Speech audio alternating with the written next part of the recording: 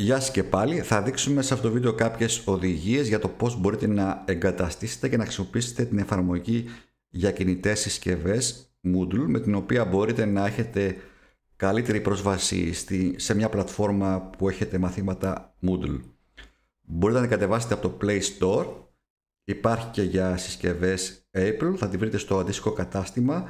Εγώ την έχω ήδη εγκαταστήσει. Θα την ανοίξω την πρώτη φορά που θα ανοίξουμε θα πρέπει να περάσουμε ένα τουλάχιστον λογαριασμό που έχουμε σε μια πλατφόρμα που υπάρχει το Moodle. Εγώ εδώ θα περάσω το λογαριασμό μου στο seminars etwinning.gr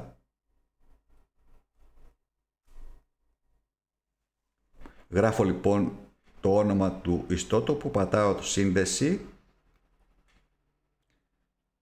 και θα πρέπει την πρώτη φορά να περάσω τα στοιχεία του λογαριασμού, να κάνω σύνδεση είτε μέσω του παλιού σχολικού δικτύου, όπως κάνετε και στον ιστότοπο.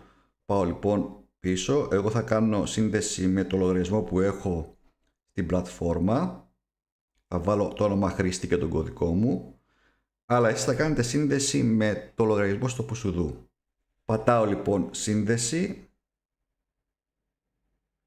και αν όλα πάνε καλά θα συνδεθώ στην εφαρμογή. Θα ανοίξει για αρχή το λεγόμενο ταμπλό. Υπάρχει εδώ και η αρχική του ιστότοπου. Και επιστρέφω στο ταμπλό. Την πρώτη φορά ειδικά που θα μπείτε και καθώς ανοίγετε νέες σελίδες από μαθήματα και το υλικό του θα καθυστερεί λίγο η εφαρμογή γιατί θα τραβάει όλα τα δεδομένα, αλλά αυτά θα τα αποθηκεύει στη κρυφή του μνήμη και έτσι μετά θα γίνεται πιο γρήγορο. Για να δω όλα τα μαθήματά μου, ανοίγω εδώ δεξιά το συρταρετό μενού, πατάω εδώ που λέει τα μαθήματά μου. Και ας επιλέξουμε ένα μάθημα, ένα φετινό μάθημα, αυτό εδώ για παράδειγμα. Όπως βλέπετε καθυστερεί γιατί είναι η πρώτη φορά και όταν είναι και η πλατφόρμα έχει επιβάρηση αυτό θα επιφέρει μια επιπλέον καθυστέρηση. Έχει λοιπόν φορτώσει το μάθημα, μπορώ να μπω στις ενότητες κανονικά και από το κουμπάκι εδώ μπορώ να δω μια λίστα με όλα τα κεφάλαια. Ας πάμε για παράδειγμα σε αυτήν εδώ την ενότητα Μπορούμε να διαβάσουμε κανονικά μια σελίδα, να πάω πίσω, να δούμε και μια δραστηριότητα. Εδώ βλέπουμε τη δραστηριότητα και αν δεν έχω υποβάλει μπορώ και από εδώ να κάνω προστίκη υποβολής. Αν πρόκειται για αρχείο να πατήσω εδώ προστίκη αρχείου και ανάλογα με τη συσκευή μου θα μου βγει το μενού για να προσθέσω μια εικόνα από το άλμπουμ ή να πάω εγώ στην επιλογή αρχείο για να κάνω εξερεύνηση τα αρχεία της κινητής μου συσκευής. Αυτό είναι ανάλογα και με την κινητή συσκευή, τι λογισμικό έχει και ποια έκδοση είναι. Το θέμα είναι ότι μπορούμε λοιπόν μέσα από την εφαρμογή Moodle να μελετάμε το μάθημα και αν χρειαστεί να κάνουμε και υποβολές σε κάποιες δραστηριότητες.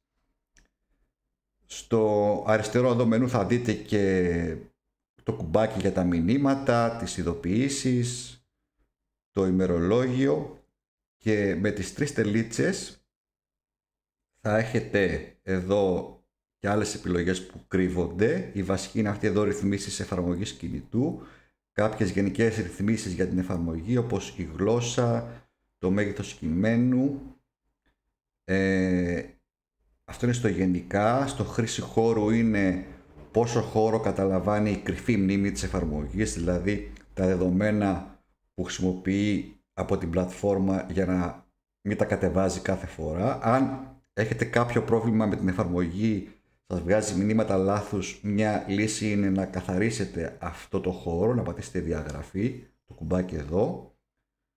Και με το συγχρονισμό Κάνετε συγχρονισμό τα δεδομένα, δηλαδή αν έχει γίνει μια ενημέρωση στην πλατφόρμα, πατάτε εδώ για να γίνει συγχρονισμός για να τραβήξει τα νέα δεδομένα. Αν και αυτό το κάνει και αυτόματα κάθε φορά που συνδέεστε στο Wi-Fi.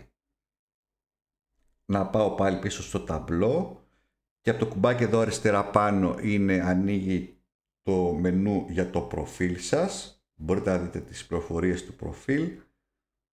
Να πάω πάλι πίσω στο προφίλ. Με το κόκκινο κουμπάκι κάνετε αποσύνδεση, αλλά δεν χρειάζεται να το κάνετε αποσύνδεση για να μην κάνετε κάθε φορά τη διαδικασία.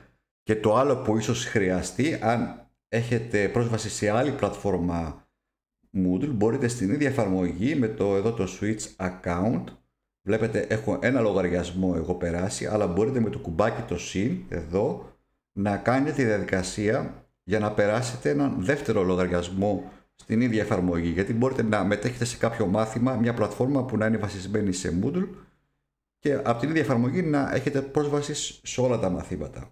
Αφού περάσετε ένα δεύτερο λογαριασμό, θα μπορείτε να κάνετε εδώ, να ανοίξω την εφαρμογή πάλι, χάθηκα λίγο, να πατήσω εδώ για να επιστρέψω στο λογαριασμό μου. Από εδώ λοιπόν, όχι από το προφίλ, να κάνετε εναλλαγή του λογαριασμού, δηλαδή να επιλέγετε με ποιο λογαριασμό θα χρησιμοποιείτε την εφαρμογή. Αυτά λοιπόν για την εφαρμογή Moodle. Αν δείτε ότι έχετε προβλήματα, είπαμε από τις ρυθμίσεις εφαρμογής κινητού, καθαρίζουμε τα δεδομένα και κάνουμε έτσι ενημέρωση των δεδομένων.